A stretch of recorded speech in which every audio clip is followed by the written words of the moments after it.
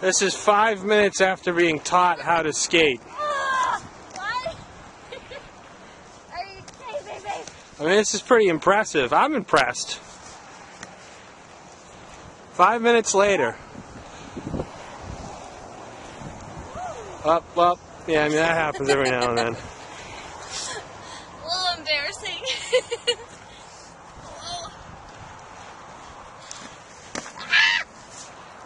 Uh oh, she almost went down. Oh, no, no, no, I'm doing it. These are my fears today, my friend.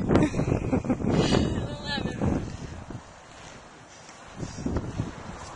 There we go. Alright, I'm gonna I'm gonna turn around and I'm gonna take talk about something inspirational. I'm gonna take off on her.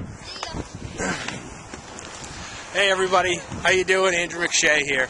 And uh, that's my wife behind me. She is facing a huge fear today. It may not look like much, but she's trying to learn how to rollerblade. Last time we did this, I don't know if I'm a bad coach, but uh, she fell pretty hard.